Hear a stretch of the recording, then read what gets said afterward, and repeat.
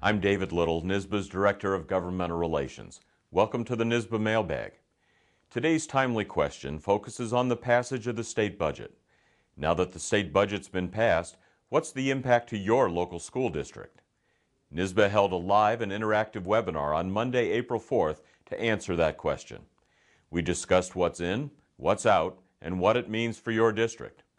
I offered details on how the state budget positions your district for the coming year, and I was joined by a panel of school board members from across the state who shared their views on how the state budget will affect each region. A recorded version of the webinar is available on the NYSSBA website in the Members Only section, and it's complimentary to NYSSBA members only as a member benefit.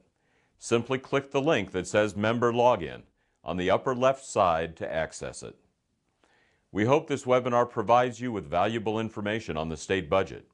If you have more questions, please contact me or members of the NYSSBA Governmental Relations team.